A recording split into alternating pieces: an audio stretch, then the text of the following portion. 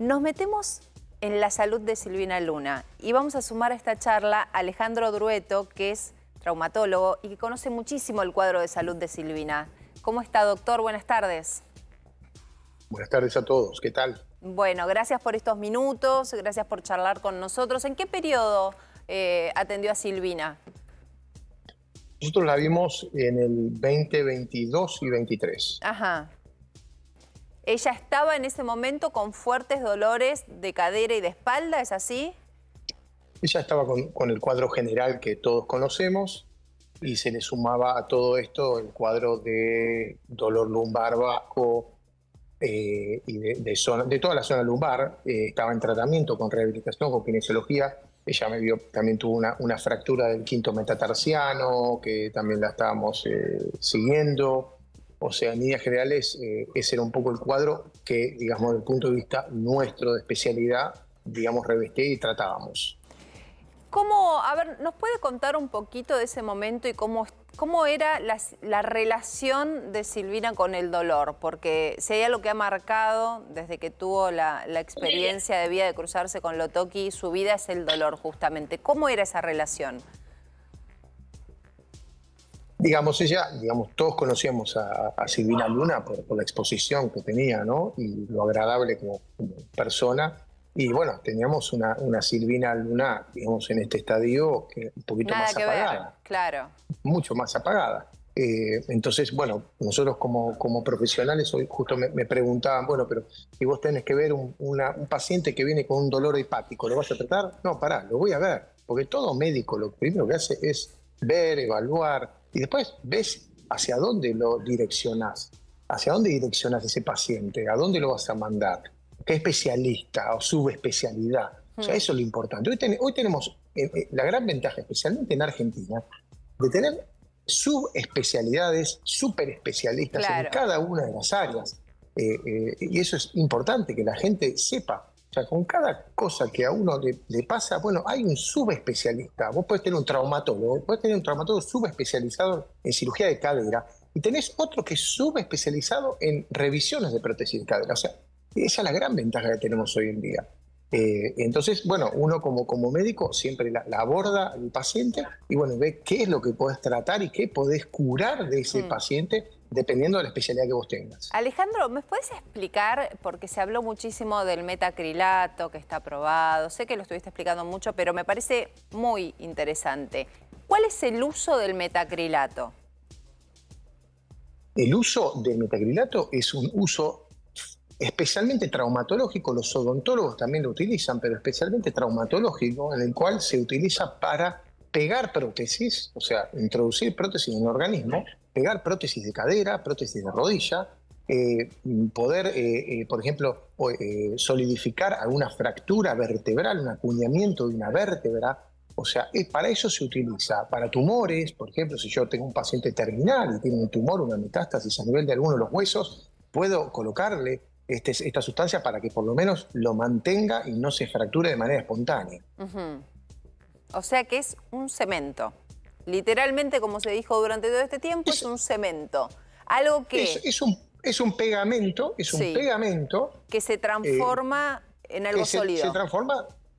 Es, es, un líquido que se transforma en sólido por una reacción que se llama reacción exotérmica, levanta temperatura y se solidifica.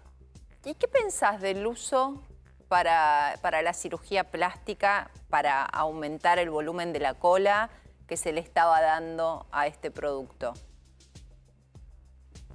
Yo creo que no, no es. Primero es un producto que en, digamos, en advertencias te dice que no se recomienda para la, aplicación en eh, tejidos blandos. Partamos de abajo.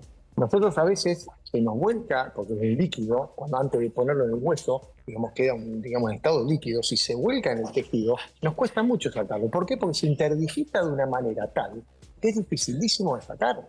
Entonces, si yo necesito, supongamos que, tenés la mala suerte que vos aplicás ese, líquido y se infecta, le tenés que sacar todo el glúteo. Y todo el glúteo significa sacar el, músculo, sacar el, nervio ciático, sacar. O sea, es realmente complejo. Por eso no se utiliza. Yo, veía mm, que, se hablaba mucho de si estaba autorizado o no estaba autorizado y en realidad esa conversación es, se queda corta porque puede estar autorizado por la ANMAT, de hecho lo está, de hecho vos lo usás en tus prácticas médicas, pero no está aprobado para ese fin. Yo ponía como ejemplo mientras hablábamos el otro día, sí, la, la lavandina también está aprobada. Ahora, si yo agarro la lavandina y se la doy de tomar a un chico, estoy haciendo un mal uso de la lavandina. No tiene que ver con la aprobación, no es que está aprobada para todo, está aprobada para el uso correcto. El ejemplo que das es, perfecto.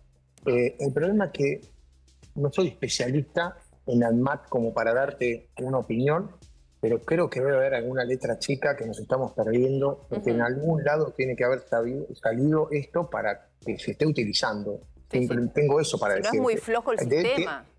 tiene que existir. Yo por otro lado, a ver, eh, saliendo de lo menos, va mal con una... A ver, hubo prótesis de cadera, te voy a, te voy a decir ejemplo que es lo que me gusta. Sí. Hubo prótesis de cadera, que hubo recall. Hubo recall, significa, ¿vieron, ¿vieron cuando un auto, vos compraste un auto y hay algún problema en el airbag?